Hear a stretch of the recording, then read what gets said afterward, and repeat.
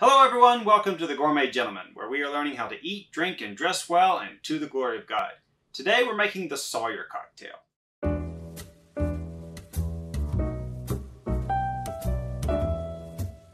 We'll start by adding 2 ounces of London Dry Gin to a cocktail shaker,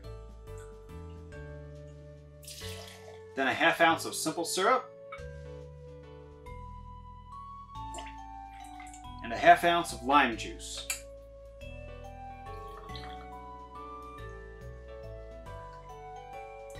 The Sawyer cocktail is unique in that it uses a lot of bitters.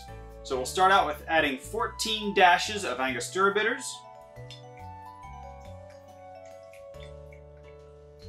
seven dashes of orange bitters, and seven dashes of Peychaud's bitters. Now we'll add our ice and shake it up.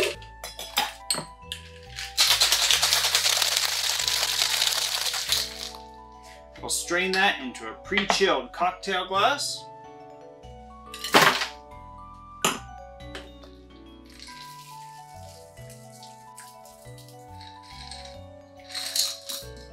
For our garnish, we use a twisted lime. Not a lime twist, a twisted lime. What you do is you take a lime slice, you cut it about three quarters of the way through,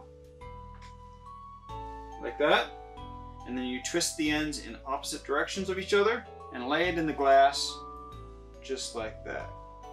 You won't really be able to see the garnish at first, but as you drink the cocktail down, a nice twisted lime will be revealed. And there's your Sawyer cocktail. I am making such a mess.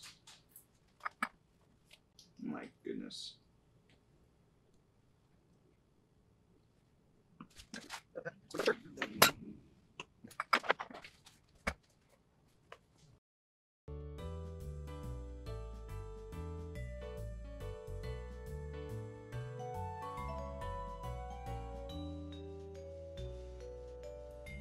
Like I said, the Sawyer cocktail is interesting. Three kinds of bitters in there. Give it a really interesting character. Very full flavored, very complex.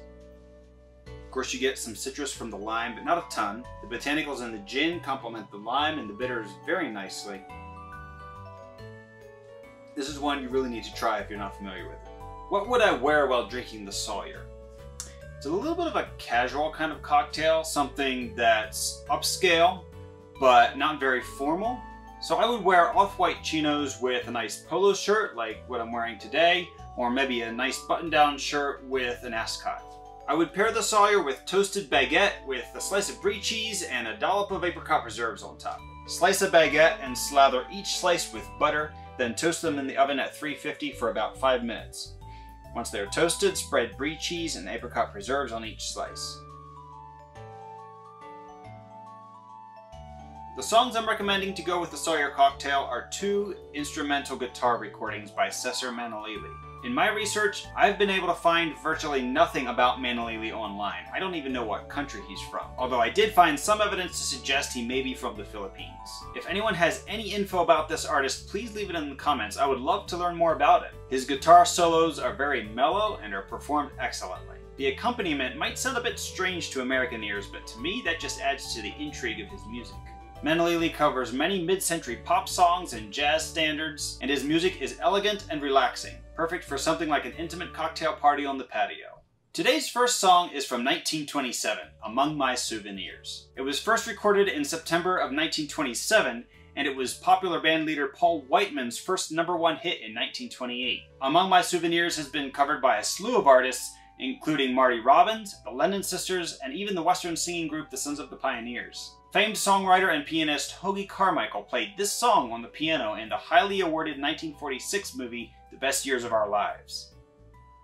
Our second recording for today is actually a medley of Maria Elena, Perfidia, and Aquellos Ojos Verdes. Maria Elena was originally written in Spanish by Mexican Lorenzo Barcelata in 1932, with English lyrics later written by Bob Russell. The English version was popularized in the United States by Lawrence Welk's radio program in the 1940s. Perfidia is another song that was originally written in Spanish with lyrics later translated into English. Perfidia was also written by a Mexican songwriter Alberto Dominguez and was published in 1939. In the movie Casablanca, Perfidia is played in the background of the ballroom scene during the flashback to Paris. Aquellos Ojos Verdes, or Those Green Eyes, is another Spanish language song that was written in 1929 by Cubans Adolfo Utrera and Nilo Menendez, with English translation by Eddie Rivera and Eddie Wood in 1931. It was a number one hit for Jimmy Dorsey's band in 1941 when it rose to popularity in the United States. My favorite recordings of Aquellos Ojos Verdes are by Nat King Cole and Trios Los Panchos, and of course, look up the medley by Cesar Manalili.